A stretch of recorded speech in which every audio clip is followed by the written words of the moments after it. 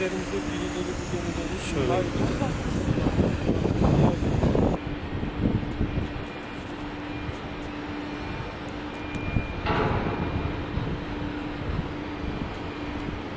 Çok güzel bir gemi değil mi?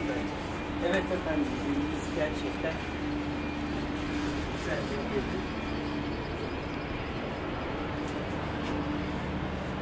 Gürcistanlı gemimizin? Bak çok Evet. Gemimizin çarçıbaşısı, gemimizin gemici, gemimizin ikinci kaptanı, gemimizin elektrik zabiti.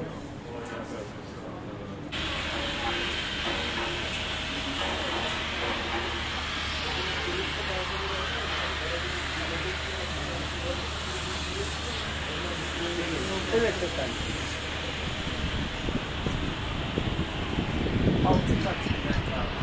Altı kat mı çıkacağız? Evet efendim.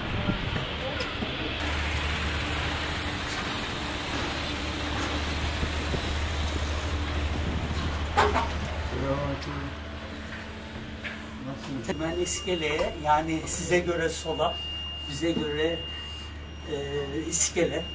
Sancağa bastığınızda da sağa doğru gelir. manevrasyonu var. Kapatma tuşu var değil mi? Evet efendim. Yok yine aynı düğmeye bastığınızda kapanır.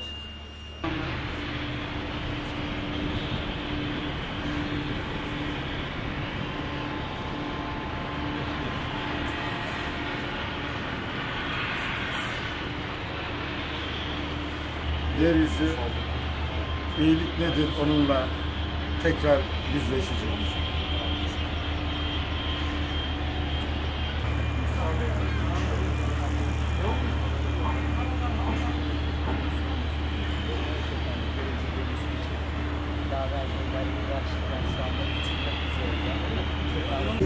Suda e, ağırlık merkeziyle denge merkezinin hesabı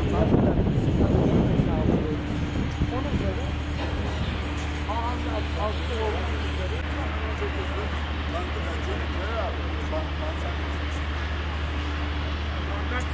Yok, pankart burada, burada, burada.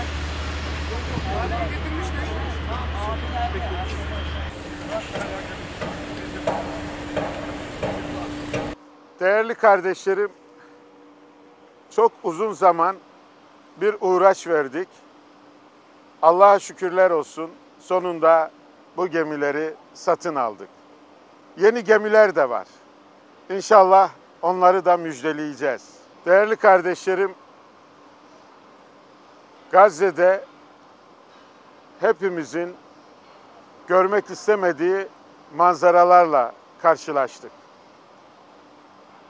yeryüzünün ne kadar çaresiz olduğunu bir kez daha iliklerimize kadar hissettik. Çok yoğun istişareler yaptık. Dünyadaki birçok iyi niyetli insanla bir araya geldik. Özgürlük filosu bileşenleriyle Akdeniz'e açılmaktan başka şansımızın olmadığını gördük ve gemiler almak için harekete geçtik. Allah'a hamd ediyoruz. Bu gemilerimizin henüz bir kısmını aldık. Diğerleri de olacak. Bakın bu yük gemisi 5500 ton. Adı Anadolu. Yani ülkemizin yardımlarını ve merhametini yüklenecek, Gazze'ye ulaştıracak. Diğer gemimizin adı Vicdan.